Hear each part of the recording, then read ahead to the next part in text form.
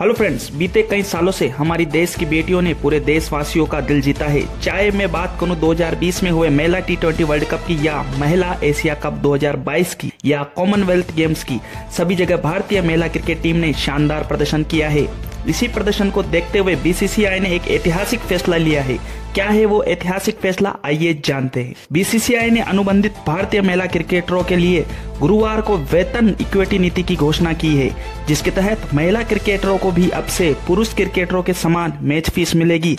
इस फैसले की जानकारी बीसीसीआई सचिव जय शाह ने सोशल मीडिया के ज़रिए दी। अब एक सवाल जो आप सबके मन में कई देर से उठ रहा है कि आखिर कितनी मैच फ़ीस दी जाएगी? तो बिना किसी देरी के आइए जानते हैं इसका जवाब। बीसीसीआई के इस फैसले के बाद महिला क्रिकेटर को टेस्ट मैच की फ़ीस के रूप में 15 लाख रुपए मिलेंगे।